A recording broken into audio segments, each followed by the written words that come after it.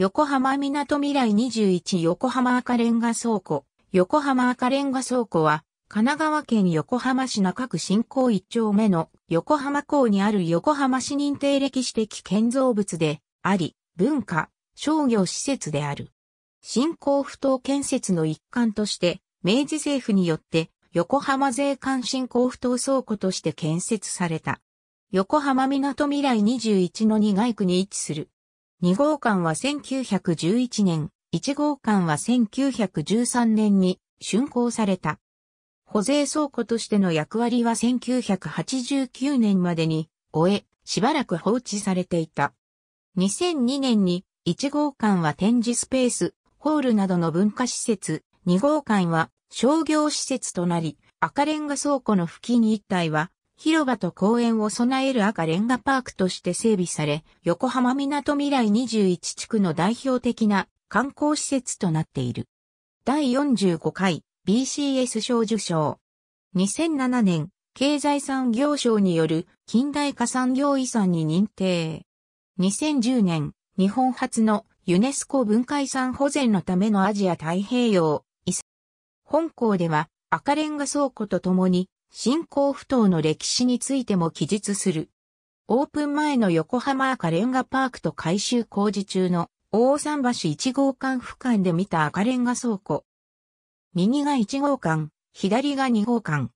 赤レンガ倉庫は明治時代の終わりから大正時代の初めにかけて建設された。当時の横浜港は1859年の開港から半世紀を経て近代的な港湾の整備が横浜市にとって急務となっていた。1889年には第一期築港工事が始められ、第三橋、東西防波堤などの整備が進められた。これに続く1899年には横浜税関拡張工事の名目で大蔵省が主導して第二期築港工事が始められた。第二期築港工事は前期と後期に分かれる。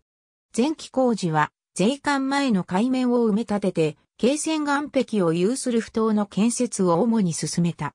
京船岸壁とは、船が直接接岸できる岸壁で、その建設は日本初の試みであった。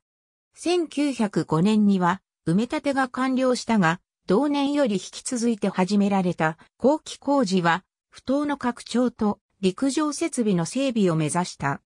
赤レンガ倉庫は後期工事の中で国営保税倉庫として建設された。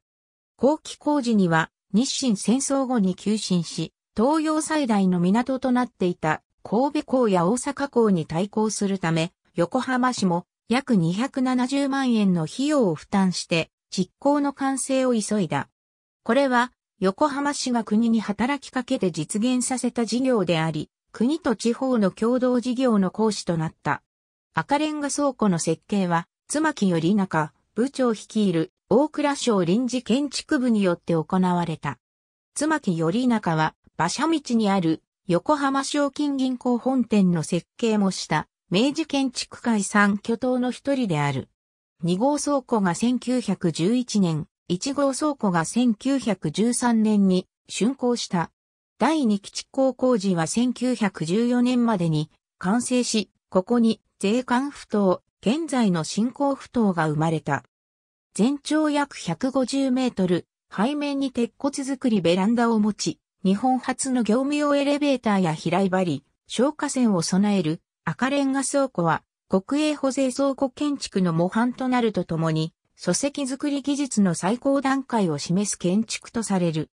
2号倉庫は、レンガとレンガの間に鉄を入れる補強が施されていたことで、1923年に発生した関東大震災でも被害は1号倉庫の約30%損壊にとどまった。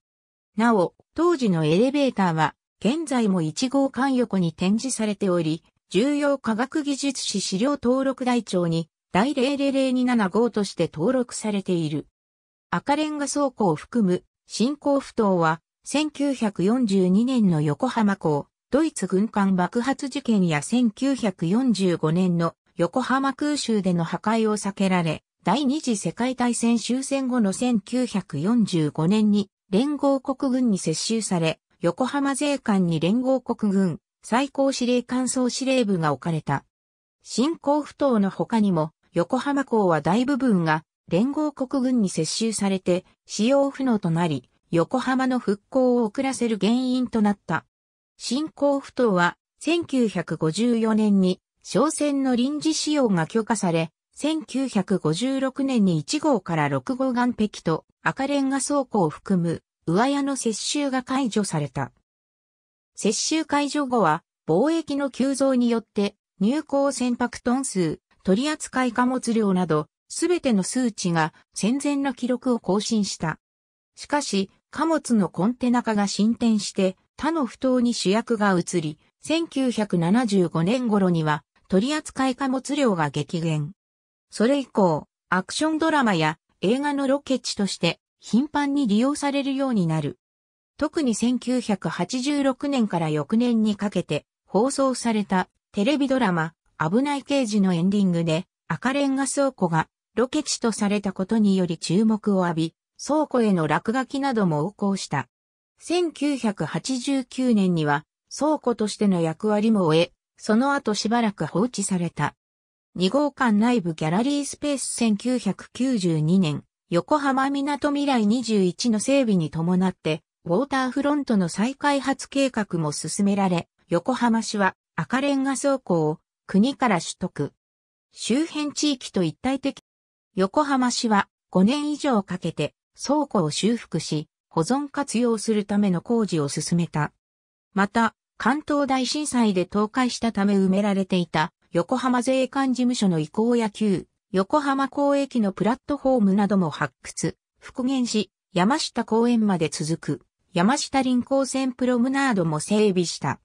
こうして、2002年4月12日、赤レンガ倉庫を中心とした付近一帯は、展示スペース、ホール、広場、店舗からなる横浜赤レンガパークとしてオープンした。赤レンガ倉庫1号館は主に文化施設として公益財団法人横浜市芸術文化振興財団が運営する。赤レンガ倉庫2号館は商業施設で株式会社横浜赤レンガが運営する。いずれも歴史的な佇まいを残しつつ、現代的な耐震性と消火設備を備えている。2007年11月には、経済産業省により、近代化産業遺産として認定された。横浜赤レンガ倉庫は、2006年1月に通算来館者数が2000万人、2013年5月に通算来館者数が6000万人を達成するなど、年間来場者数が600万人を超える横浜の人気観光地となっている。また、僕の生きる道や、クイタンといったテレビドラマのロケ地にも選ばれている。2002年4月12日、文化施設として開館。1階の床下には瓦などが展示されている。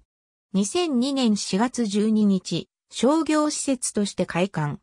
当初は31店舗であったが、現在のテナント数は40店舗を超える。多くの店舗で横浜赤レンガ倉庫ならではの商品を置いている。また、3階のレストランビアネクストのロゴマークは、倉庫内にある防火扉の開閉に使っていた滑車に由来する。1階のテーマは、港横浜の心地よいおもてなし、2階のテーマは、予感を膨らませる、とっておきのこだわり1号館と2号館の間に位置する広場。横浜オクトーバーフェストやアートリンク in 横浜赤レンガ倉庫など季節ごとに様々なイベントが行われている。アートリンク in 横浜赤レンガ倉庫、横浜赤レンガ倉庫イベント広場に設営されるスケートリンク。アーティストが音や光、映像でスケートリンクを演出する。横浜赤レンガ倉庫。ありがとうございます。